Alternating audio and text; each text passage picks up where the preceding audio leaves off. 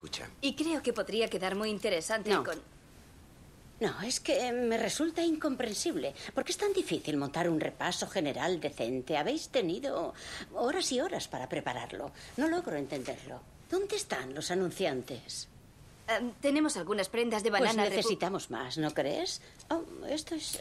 Esto podría... ¿Qué te parece? Oh, sí. Ya me conoces. Dame una falda de bailarina con un toque de salón del oeste y me lanzo. Mm, pero ¿no crees que se parece demasiado ¿Al de la a- Croix de Julio? Eso pensaba, Ah. pero no. Con los accesorios adecuados debería funcionar. ¿Dónde están los cinturones para Ah. este vestido? ¿Por qué no está nadie preparado? Mire, difícil decisión. ¿Son tan diferentes? Mm.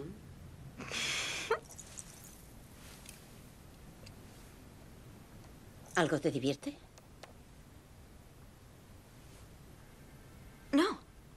No, no, no, no, no es nada. Solo es que los dos cinturones me parecen exactamente iguales. No sé, aún estoy aprendiendo sobre estas cosas. y- ¿Estas cosas? Ah, de acuerdo. Entiendo. ¿Crees que esto no tiene nada que ver contigo? Tú vas a tu armario y seleccionas, no sé, ese jersey azul deforme porque intentas decirle al mundo que te tomas demasiado en serio como para preocuparte por lo que te pondrás, pero lo que no sabes es que ese jersey no es solo azul, no es turquesa, ni es marino, en realidad es cerúleo.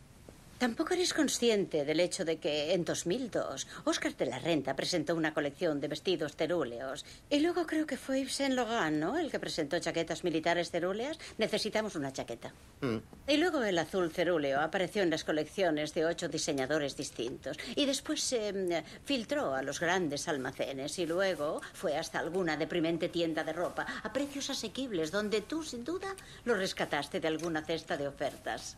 No obstante, ese azul representa millones de dólares y muchos puestos de trabajo. Y resulta cómico que creas que elegiste algo que te exime de la industria de la moda, cuando de hecho llevas un jersey que fue seleccionado para ti por personas como nosotros. Tendré un montón de cosas.